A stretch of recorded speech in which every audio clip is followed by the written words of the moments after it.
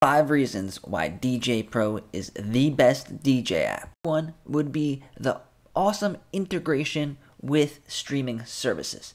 djay Pro was the first DJ app to offer DJing with streaming services, and when it first came out, people went nuts and they, they thought it wasn't real DJing and some people loved it some people didn't some people thought it was a fad and it, it wasn't gonna be something that's popular in the future but those people were wrong and streaming service is now normal for basically all of the leading DJ softwares. So djay Pro has made it so simple and so easy to just download the app and then DJ with millions and millions of songs and have access to effects and sound effects and a lot of stuff you could do with these various streaming services. So if you go over here, you click on the menu, you bring down the menu, and then here is the list of all of the streaming services that are currently offered. So there is Tidal. This is the one that I use. I used to use Spotify, and that was the best one. But unfortunately, Spotify has removed their access to DJ with their service. So no streaming services have no DJ apps have the ability to DJ with Spotify, and they probably will will never. So there are some good alternatives, and Tidal is the most like Spotify. It's not doesn't have as much pre-made playlists, but it the pretty much any song you search for will be there. If you want to use Spotify to DJ, you could use the app to find discover new songs by using some of their great playlists, or you could connect it through uh, on a different deck. Like if you're using a mixer when you're DJing with a controller, you could put it into an auxiliary channel and then have a song ready and then play that and then mix out of it on your DJ software. They also offer SoundCloud, which is great for underground um, artists that aren't that popular yet and that aren't going to be on Tidal. They're on SoundCloud, like new rappers and a lot of up and coming artists. So, as a DJ, you always want to be able to play the most up and coming songs. And then there's Beatport and BeatSource. I haven't used these ones. They do have a lot of songs and they also have more like it's more geared towards EDM. All right, the next great feature that djay Pro offers is Neural Mix. What this does, let's say you got a great song from one of those streaming services or you had your own song.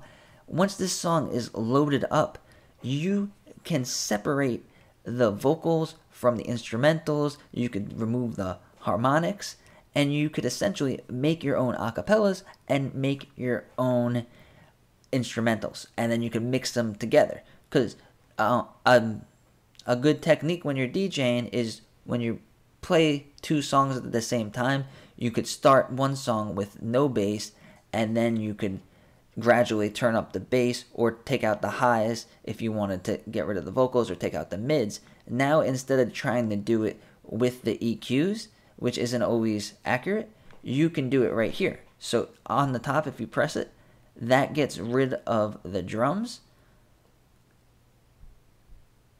That gets rid of the drums. This is for the harmonics. You could either press the button to turn it on or off, and then you can remove it. And as you see, when you remove something, you it changes the waveforms.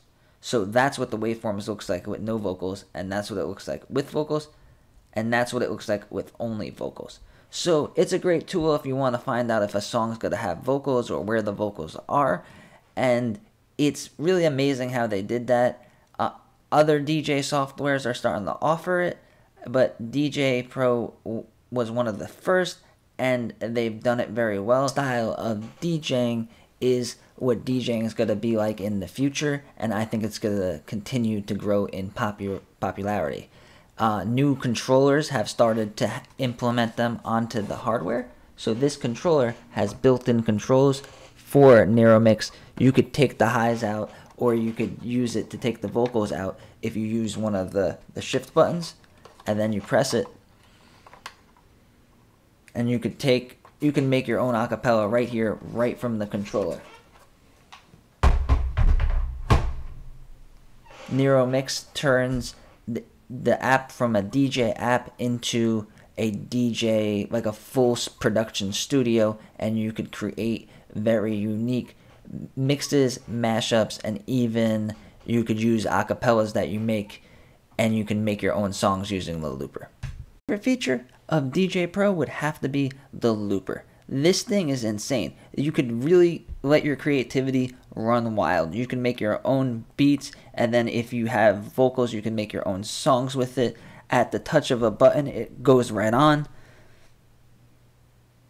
And it's also in sync to the song that you're playing and the beat that you're playing.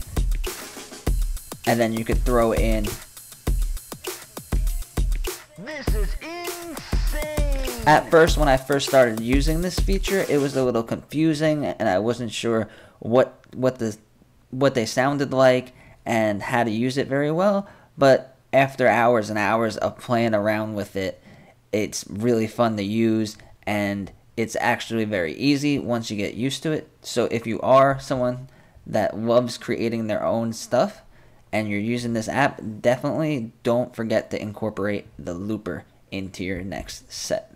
Next thing I love about djay Pro is that they make it so fun and easy to scratch and to learn how to scratch. I always wanted to become a DJ because I thought it was so cool when DJs would scratch on the record.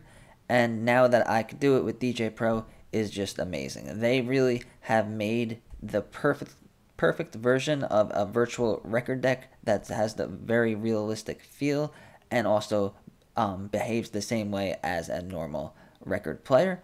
And they threw in some hidden features that make it easy to scratch, which is if you use both fingers, it'll move the crossfader back and forth, creating a really cool scratch noise. And then also, if you have the crossfader all the way to the left, and then you hold the screen in the middle, and then let go, it cuts the crossfader really fast. So you could do it that way, and then that's how you could do the trip scratch.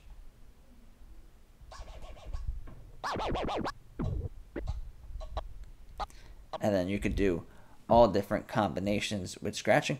When I first started, there's a training video. If you go into the settings over here, and then you go over here to DJ School, it brings you onto the DJ School where there's like 10 or 12 videos that'll teach you everything from the baby scratch to more advanced scratches. And I definitely suggest watching those. I also made a lot of my own videos on how to scratch, and it takes a while. It's not something that you could just start doing right away. You do have to practice and learn how how the sounds are made and what techniques to use. But I definitely suggest taking the time to learn how to scratch, even if you don't do it that much in your DJ sets. It's a good skill to have, and it's really fun to do. And this is the best app to learn. Even if you're uh, even if all you have is your phone and you want to learn how to scratch that's how i started. I started djing with my phone and i would be there scratching and it was fun. It was like playing a game. And then i got the ipad and then i got various controllers and stuff like that. So if you guys think you want to be interested in scratching and all you got is your phone download the app scratch see if it's fun and then if you want to get an ipad or a different controller that's up to you i really have so many more things that I think are great with, with this app. So I'm going to make a part two and part three. Let me know in the comments if there was anything I left out that you think I should add in, add in the next one. Thank you.